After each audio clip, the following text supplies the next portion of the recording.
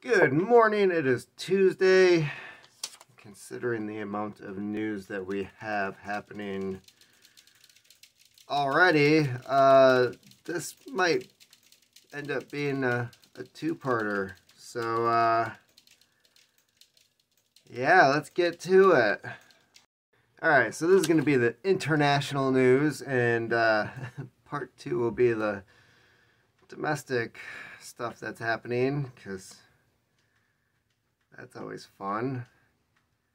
Ah, India is agreeing to buy Russian oil.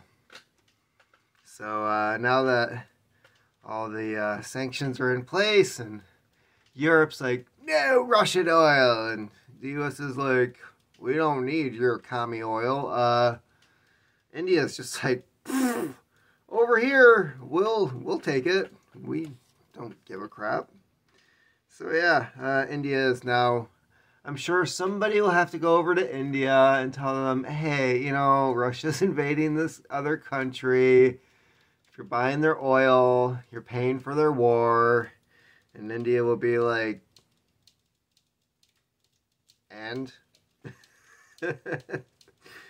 uh, Germany is buying uh, several F-35s from the United States, and they're stating it's because of the invasion of Ukraine.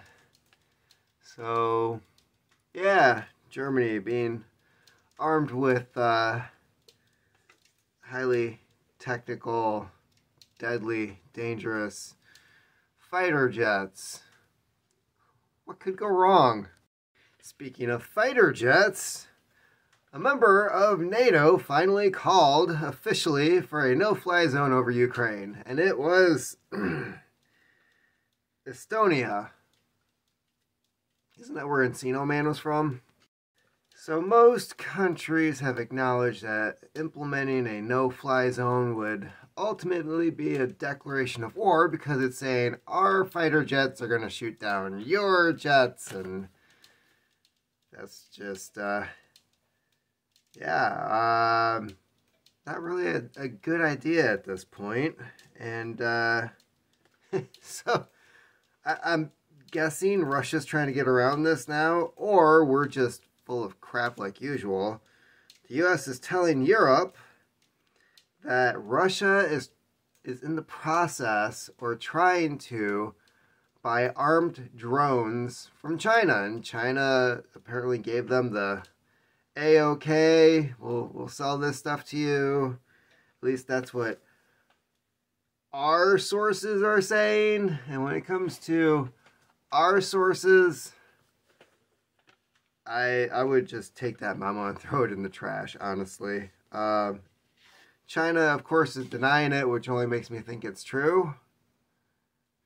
So now I gotta take back that statement of like I don't think it's it's true. But it's a catch twenty two. If they were doing it, they deny it. If they weren't doing it, they deny it. So either way, you have to think that they are doing it, right? Is that how that works? Because they're not going to come out and say, oh, yeah, we're, we're selling that stuff to them. And then Russia's going to be like, you are? of course, they would probably play ball and be like, yes, yes, of course they are. We buy ton of uh, armed drones. Yeah. So, uh, hmm. And keep in mind, this is only like two weeks after a Saudi oil field was attacked by an armed drone, which uh, I don't recall anybody ever uh, claiming responsibility for that. But that's an ongoing thing in the Middle East right now is uh, sending drones in. And wasn't there that assassination attempt in like Central or South America where some dude was on a platform running for president or local dictator or something. and These drones flew in with bombs strapped to them and exploded. Oh, yeah. By the way, if you want to know about the future of drone warfare, I, I do have a sci-fi book called Game Over. I'm told it's a horrible title. I thought it was a fun play on the whole like 80s video game thing, but yeah. Um anyways, that's out there if you want to check that out. But um yeah, as for uh international news, that is about it. So